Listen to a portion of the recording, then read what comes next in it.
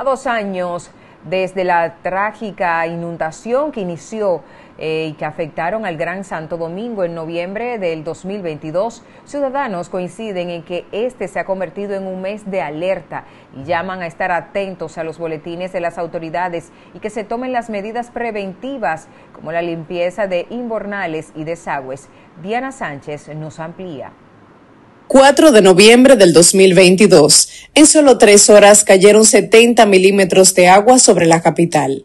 Dos años después, muchos ciudadanos expresan su temor cada vez que llega este mes, conscientes de los peligros que pueden traer las lluvias intensas en esta época. Fue un tanto alarmante porque la lluvia no paraba y luego me di cuenta que todo el mundo estaba estancado o sea, nadie se podía salir, nadie se podía mover, pero por lo menos di gracias a Dios que yo sí estaba en mi casa.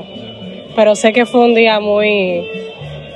Ahora sí siento un poco de pánico cada vez que dicen que en noviembre va a llover, o sea que hay que estar alertas.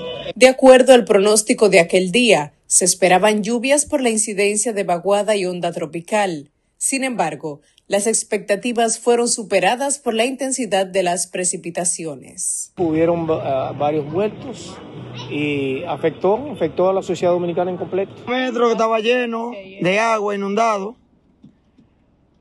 que estaban la gente cuando iban para allá no podían casi llegar a la casa, pues estaba todo inundado. Yo incluso tuve que dejar el vehículo aquí, no me pude ir. Me vinieron a buscar un motor. Yo pienso también que el asunto de la de las inundaciones muchas veces son provocadas, no puede ser por los mismos ciudadanos, porque el ciudadano es irresponsable.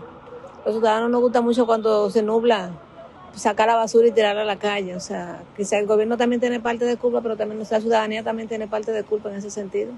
El diluvio de aquel noviembre dejó nueve personas fallecidas, cinco de ellas por asfixia por inmersión, dos por colapso de paredes y otras dos por electrocución. Para de último minuto les informó Diana Sánchez.